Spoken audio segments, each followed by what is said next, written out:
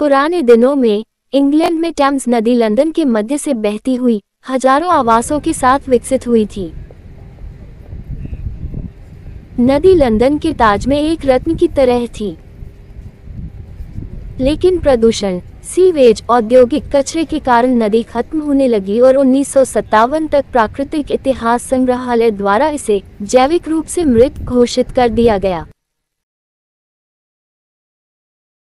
समाचार पत्रों ने टैम्स को एक गंदी, दुर्गंधयुक्त नाली के रूप में वर्णित किया। ऐसा लग रहा था कि उसके बचने का कोई रास्ता नहीं है, लेकिन वह मौत को मात देते हुए वापस लौट आया। मृत घोषित होने के साठ साल बाद, टैम्स दुनिया की सबसे स्वच्छ नदियों में से एक के रूप में वापस आई। आज, इसके पानी के नीचे और ऊपर जीवन पनप रहा है। इस परिवर्तन ने अपनी उत्कृष्ट बहाली प्रक्रिया के लिए 2010 में अंतर्राष्ट्रीय थीज रिवर पुरस्कार, दो लाख बीस हज़ार पाउंड का पुरस्कार जीता। 200 मील लंबी नदी लंदन की बर्बादी की नियति थी। ये तब लंदन का कूड़ेदान था।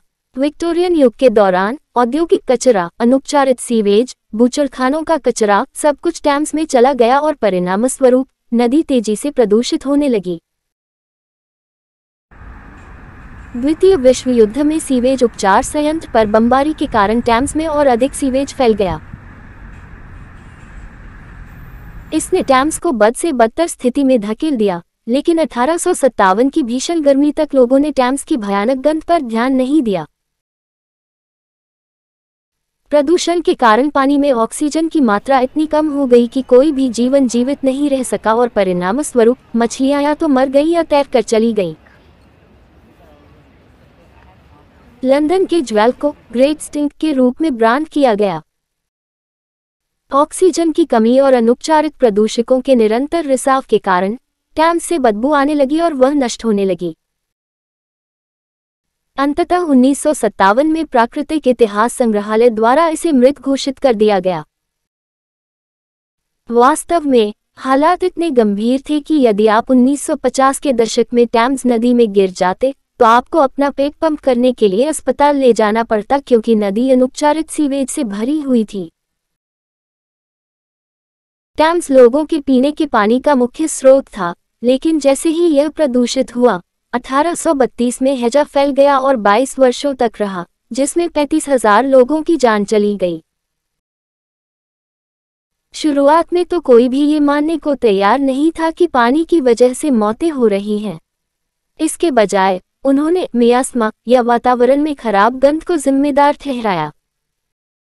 पुनर्स्थापना प्रक्रिया शुरू होने के बाद ही हैजा पर नियंत्रण पाया जा सका। भयानक बदबूदार टैम्स, द ग्रेट स्टिंक, आखिरकार अठारह की हीट वेव के दौरान संसद के सदनों तक पहुँच गई थी।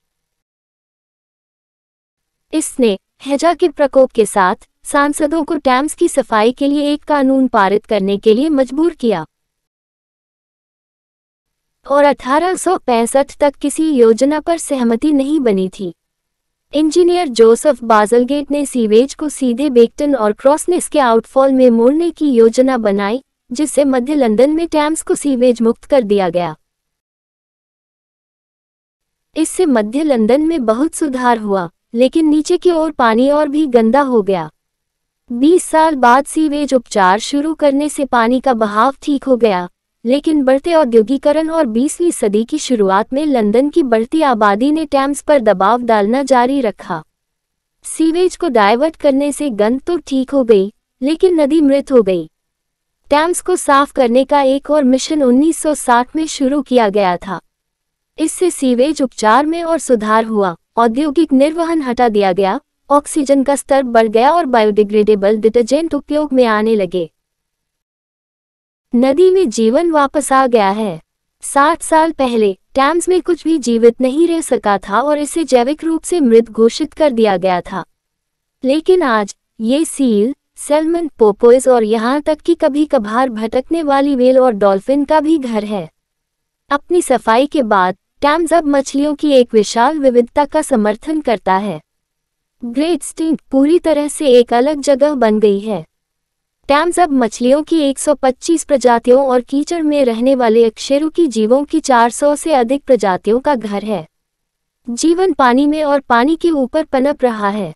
जल पक्षी, जलचर और समुद्री पक्षी जो पानी से भरपूर भोजन खाते हैं, ये सभी अब टैम्स के आसपास के वातावरण में निवास करते हैं। इसे साफ़ रखना। टैम्स मृत अवस्था में वापस आ गई और फल फूल रही है, लेकिन बताया गया है कि हर साल टैम्स से 300 टन तक कचरा बरामद हो रहा है। प्लास्टिक, विशेष रूप से प्लास्टिक की बोतलों की मात्रा हर गुजरते साल के साथ बढ़ रही है। टैम्स को साफ़ रखना एक चुनौती बनती जा रही है। अगर आपको यह वीडियो पसंद आए तो कृपया लाइक, कमेंट, शेयर करें और इस चैनल को सब्सक्राइब करें।